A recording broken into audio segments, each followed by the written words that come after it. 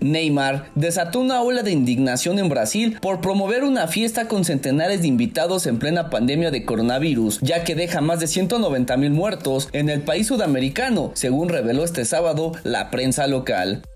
El jugador del Paris Saint-Germain recibió multitud de críticas hoy después de que el periódico O Globo informara sobre el evento que comenzara el viernes en una mansión en Mangarativa, en Río de Janeiro, y que continuara con la presencia de unos 500 invitados.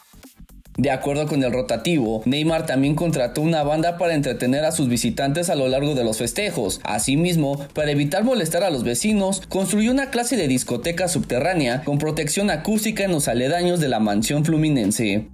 La prensa local reveló además que la única regla impuesta por el camisa 10 de la selección brasileña ha sido la total prohibición del uso de teléfonos móviles. Los asistentes tampoco podrán grabar historias, videos o publicar imágenes en las redes sociales.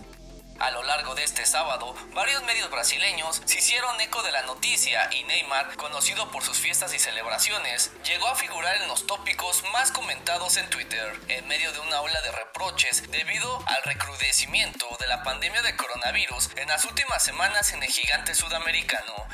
Brasil es uno de los países más contagiados por la emergencia sanitaria y según los datos más recientes del Ministerio de Salud, acumula ya más de 190 mil muertos y unos 7.5 millones de infectados por el COVID-19.